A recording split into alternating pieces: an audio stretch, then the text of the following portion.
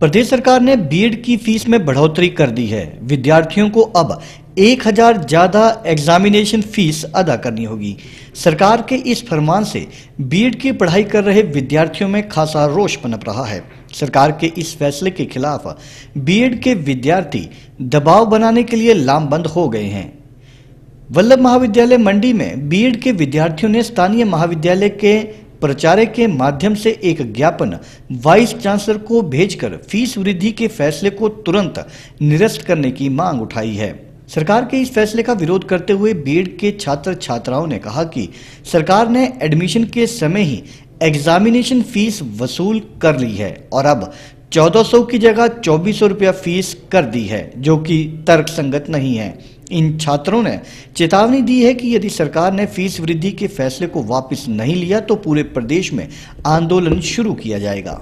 हम बीएड के, मंडी कॉलेज के प्रशिक्षु छात्र हैं जो यहाँ पे ट्रेनिंग कर रहे हैं। अभी आज हमने प्रिंसिपल महोदय के माध्यम से वाइस चांसलर को एक मेमोरेंडम दिया। मेमोरेंडम में जो अचानक से फ़ीस बढ़ोतरी की गई है, उस फ़ीस बढ़ोतरी को लेकर आज हमने एक चेतावनी दी है कि इस फ़ीस बढ़ोतरी को वापस ले दे।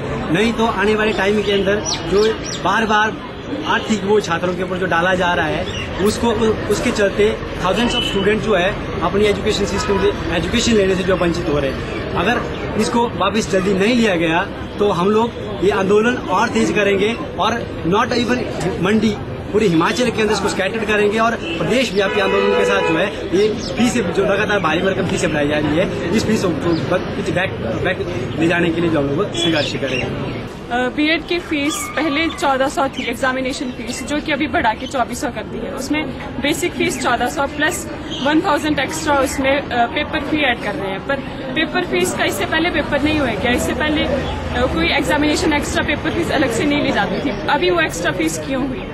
पहले ही बीएड की एग्जामिनेशन एग्जामिनेशन के अलावा भी फ़ीस पचास हज़ार हम पे कर चुके हैं। तो उसके अलावा ये एग्जामिनेशन फ़ीस में एक हज़ार बढ़ोतरी। सभी स्टूडेंट्स के लिए ये आर्थिक तौर पे बोझ डाल रही है और ये एक्सेप्टेबल बिल्कुल भी नहीं है। तो मैं अपनी पूरी क्लास की तरफ़ से रिप्रेजेंट करते हुए ये अनुरोध करती हूँ बीसी सर से कि ये इस डिसीज़न को वापस लिया जाए और इस फ़ीस बढ़ोतरी को वापस चौदह सौ तक किया जाए।